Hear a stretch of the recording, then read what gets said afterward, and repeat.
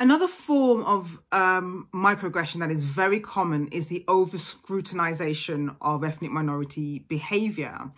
Um, I'll give you an example of this. So we used to go into schools a lot. I would bring, I would go in with my staff members, and so um, I would panic a lot um, about bringing in my DBS, you know, i or not bringing in my DBS because I knew that if I didn't bring it in, if I forgot it for any reason, um, you know, I would have to deal with being, you know, anyway, the, the red tape around that.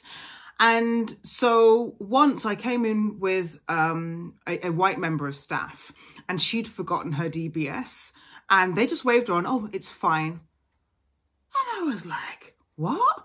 Really? Is this normal for you? Yeah, that always happens. Like, it's never a problem.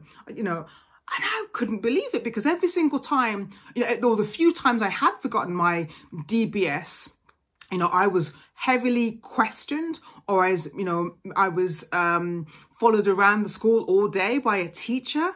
But for her, it was very normal not to have some, not to have a fuss made about the fact that she'd forgotten her DBS. And that's because there's a certain level of um, trust that is afforded to a fellow white person that is not also uh, carried over to ethnic minorities. Again, we have to remember that microaggressions communicate to a person that they are um, incapable of performing well, invisible, unwelcome, and not trustworthy. So it's the not trustworthy bit that when people are over scrutinizing behavior, you know, have you done your timesheet? You know, um, where have you, where did you study? Or how long have you been doing this? These are all forms of microaggressions that communicate to that person that you're, you're not worthy of being trusted, that actually, uh, you know, do you really qualify?